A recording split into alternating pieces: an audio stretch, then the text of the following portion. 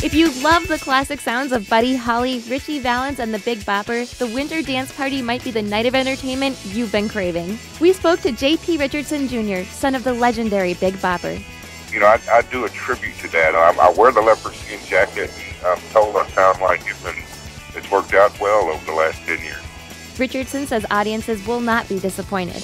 They can expect an authentic uh, rock and roll show that. Um, with with musicians that are uh, you know one uh, one in particular that's won a couple of Grammys and um, a band that's been together ten years that you know like I tell people they take what they do very seriously um, and have a good time doing it. It's about as close uh, we think that you're going to get to the music um, unless you were to put on an original.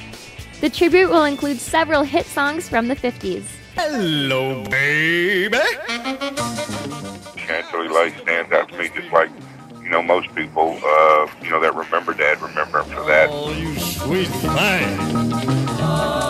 You done. Someone watching over you uh, is in my show. I tell the audience that uh, that is my favorite song that my father had written and recorded.